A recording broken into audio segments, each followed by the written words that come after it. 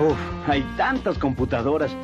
Si uno no sabe qué comprar, realmente puede meterse en problemas. Y ya que está pensando en computadoras, ¿por qué no piensa en IBM? Porque si le va mal con su compra, no va a ser fácil que se las arregle solo, ¿verdad?